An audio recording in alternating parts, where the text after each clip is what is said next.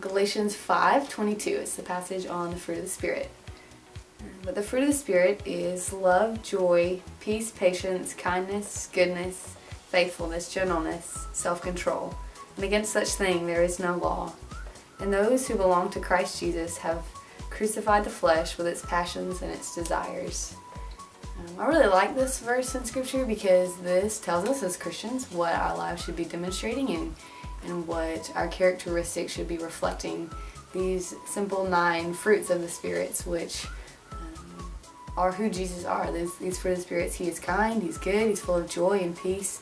All of these things are what makes up God and many other things. But when we receive the Holy Spirit, we die to flesh, as it talks about here in verse 24. Those who belong to Christ Jesus have crucified the passions of your flesh and your desires.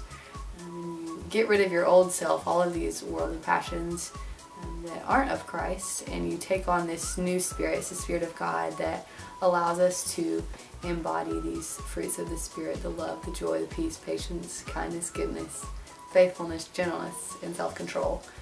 Um, so I would encourage you as you go today, whatever you're doing, think about how you can let go of something that is a passion of the flesh or desire of the flesh.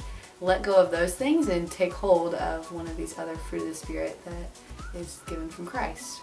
So I hope that you're able to do that today. Um, I hope that you have an awesome day.